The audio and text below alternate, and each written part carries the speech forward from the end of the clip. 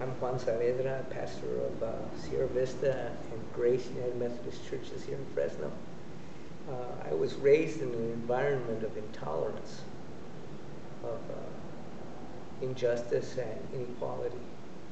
Uh, in my search for meaning in my life and in the lives of the people around me, I was confronted by a God who insisted that my life, every breath I take, be committed, be devoted as an act of worship to the service of humankind.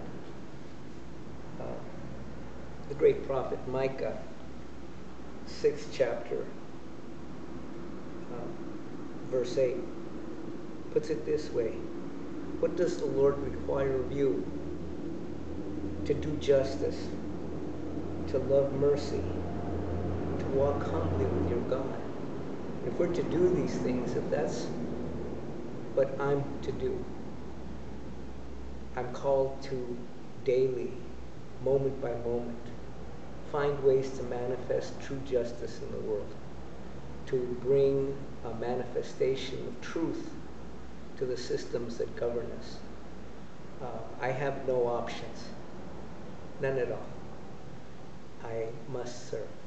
And for that, I, I thank God that organizations like Faith in Community exist because these uh, give form to our ability to touch people in their most basic needs.